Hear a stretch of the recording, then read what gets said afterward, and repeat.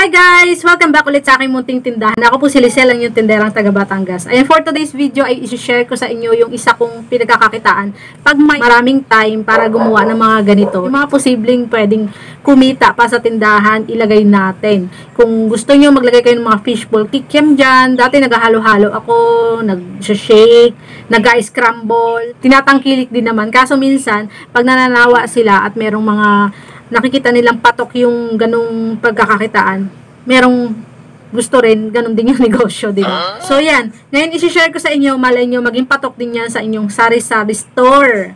Kasi ito talaga, sinasabi ko sa inyo, dito ha, ay umaabot lang siya ng isa. Matagal na yung 2 days na ginagawa ko ng 50 pieces to 60 pieces. Sabi nila nakaka-addict daw itong ginagawa kong Graham Ball. So ako guys ay may video na nito. Kung makikita nyo sa playlist ko, halongkatin yung pinakailalim. Pero yun guys ay sobrang baba pa ng presyo ng mga ano doon, mga produkto. Doon nakikita nyo yung talagang kung paano ginagawa yung proseso. Kasi ngayon, eh ano ko na lang sa inyo kung paano gawin kasi walang storage yung aking camera. So, pinicturean ko na lang yung process dito. So, explain ko na lang sa inyo kung paano gawin. So, unang-una guys, ang dapat natin gawin, dapat meron tayong mask dito pag tayo gumagawa kasi para hindi matalsikan yung ating gagawin dito mga Graham ball. At kung kayo ay mahaba ang buhok at naglalagas ang buhok nyo, magpuyod kayo. Ayan, nagpuyod ako kahit na taba-taba ng pisngi ko sa video, nagpuyod ako kasi yun ang kailangan natin. Ka at kailangan din natin, dapat lagi tayo naka-gloves pag gagawa nito. So, kailangan natin itong gloves, guys, for hygienic purposes din. At saka, kasi pag nagmo-mold tayo nung mismong Graham ball para hindi dumikit sa kamay natin. Pero hindi ko pa siya na-testing na uh, i-mold ko siya sa ano ko, bare hands ko.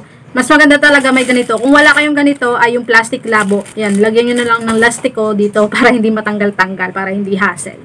So, tapos, kailangan nyo rin ng mga gamit. Ayan, ako ay merong strainer. Itong salaan, tapos mga lagayan. Itong lagayan na ito, lalagyan ko nung gawa na. Ito namang isa, yung lalagyan ko ng mixture. Dito ko sasala-salain. O, balikta. Dito ko sasala-salain.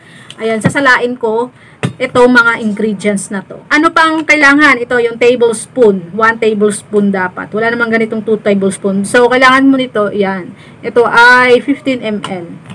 Ngayon, yung mga ingredients natin, guys. Ito, meron tayong, yung main ingredient niya, crushed graham na to, guys. Ang galing nito kasi hindi ko na kailangan mag-crush nito. Kasi yun ang kailangan natin, yung crushed graham. Pero pag sinala ko siya dito, guys, meron pa ako nakukuha mga butil-butil. So, ang isa pa nating ingredient, guys, na gagamitin itong Yahoo Biscuit. Bakit may Yahoo Biscuit? Diba, nakalagay Graham Ball lang. Ito kasi guys, yung pinaka-extender natin para maging negosyo siya para sa costing, mas mababa yung costing natin.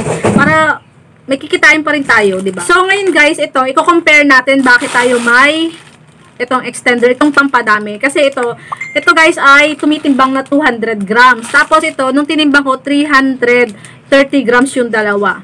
So, ito ay 40 pesos, ito ay almost 40 pesos, 38 pesos. Pero, napadami natin siya sa tulong nito. ba diba? Nakamenos tayo ng kalahati pag dinagdagan natin nito. Kasi kung pang negosyo ang gagawin natin at ito lang gagamitin natin, wala tayong tutubuin guys. Kasi sobrang mahal nitong Crush Graham. So yun. Yun ang purpose kaya dinadagdagan natin ng Yahoo Biscuit. Ito guys ay dudurugin natin. Nung nakaraang gawa ko, nung nakaraang linggo, gumamit ako yung binili ko sa TikTok na mini grinder. Kaso, hindi siya, nakakadurog siya pero hindi durog na durog kasi kailangan ko yung dito, yung kasya dito sa butas na ito, sobrang pino. Meron ako guys na dikuryenteng pang ganun kaso nga di ba nasira. Yun, na-share ko na yan sa inyo. Yun sana maganda, durog na durog yun.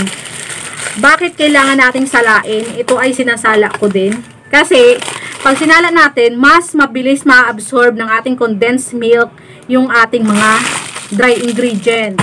Yun. Kasi, pag pinong-pino, ma-absorb ka agad. Pag malaki ang mga butil nito, matakaw sa uh, condensed milk. So, yun ang ating isa pang ingredient, yung condensed milk. Ito ay isa't kalahati ang mauubos natin dito sa ating ratio na 1 is to 2 na graham crackers at saka yahoo biscuit. Then, kailangan din natin ng mga marshmallow. Ito yung feeling natin. Ang feeling, mas malaking bagay ang merong ganito para lumaki ang ating Graham Ball. Ayan. Pampalaki ito ng Graham Ball para mas mukhang sulit yung kanilang 5 pesos. Pero sulit naman yung 5 pesos nila kasi parang pumapatak na 3 pesos ang puhunan, 3, 3 pesos pataas, ganyan. So, yan. Dalawang klase ang aking marshmallow dito, guys. Nasaan na ba isa? Ito yung isa kong marshmallow, guys. Itong rainbow. Pwede rin nyo rin itong gamitin. Kaso, dapat mas moist yung inyong graham mixture para makoat nyo ng gusto yung graham, yung marshmallow nyo. Ayan. Kailangan yung consistency ng ating ginawang mixture ay hindi siya dry para madali siyang mamold, madali siyang bilugin. Kaso pag sobrang moist naman, matakaw, matakaw siya sa coating. Madaling maubos yung coating natin kasi madali siyang kakapitan nung ano nung pang-coating natin kasi nga sobrang basa. Kaya dapat alalay laang yung paglagay natin. So doon guys sa coating ay kukuha na lang tayo dito ng konti sa ating graham crackers. Pwede rin kayong gumamit ng sprinkles, pwede rin kayong gumamit ng kahit anong flavor. Pwede rin kayong gumamit nung ano, shake powder kasi yung ginamit ko sa cookies and cream. So doon ko siya kinote. Pwede rin sa Milo, basta iba-iba. Pwede niyo rin siyang lagyan ng nips sa ibabaw. So kayo na lang na mag-design para mas kaakit-akit doon sa bibili. Kung gusto niyo maggawing negosyo to, bibili pa kayo ng tab Ayan, may nabibiling madamihan ng tab. Baka mas makakamura kayo kung bibili kayo ng maramihan na tab. Tapos pwede nyo yung ibenta. Ako kasi nag-search ako sa marketplace. Nakita ko doon yung mga binibenta nilang mga Graham ball. Napansin ko parang katulad na katulad doon sa ginawa ko doon sa aking vlog kung paano kong ginawa, nilagyan ko ng nips, yun, ganun din yung mga presentation nila doon sa kanilang mga pinost. Pwede rin ditong mag-coat ng gatas, guys. O kaya ay magdikdik kayo ng Oreo, yung pinakaano ng Oreo, yun, para chocolate flavor naman. So, unang procedure, guys, ay sasalain natin to. Kuha tayo ng separate nito na pang-coating. Tapos, ito dudurugin natin. So, tapos, sasalain ulit natin din to. Pag nasala na natin, i-mix na natin yung dalawang dry ingredient natin.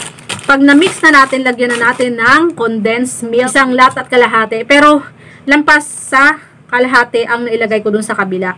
Sa una kong ginawa. So, possible kulang to. So, depende sa inyo kung gaano kadami yung ilalagay ninyo. Ayan, tansya-tansya lang. Guys, pag na-mix nyo na, nalagyan nyo na siya ng condensed milk, ay masahin nyo siya para makuha nyo yung tamang consistency.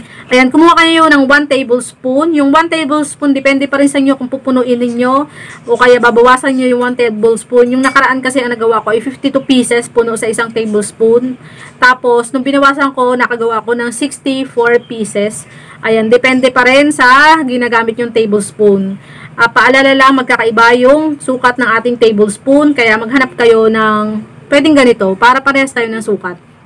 Ayan, kasi iba-iba nga yung tablespoon na nabibili natin sa mga ano bilihan. Iba-iba siya. Hindi palibasa 1 tablespoon ay parehas sila ng laman. Hindi. Kasi meron akong 1 tablespoon dito, sobrang dami niyang laman. Yung ginagamit ko sa pangre-repack sa non-food product. Malaki siya kesa dito. So, ito ang ginagamit ko dito. I-flatten nyo siya sa palad nyo na may plastic. Tapos, lagyan nyo siya sa ibabaw ng marshmallow. Kahit anong marshmallow ang gusto nyo. Tapos, i-sealed nyo na siya. Bilogin nyo na siya. I-roll nyo na siya.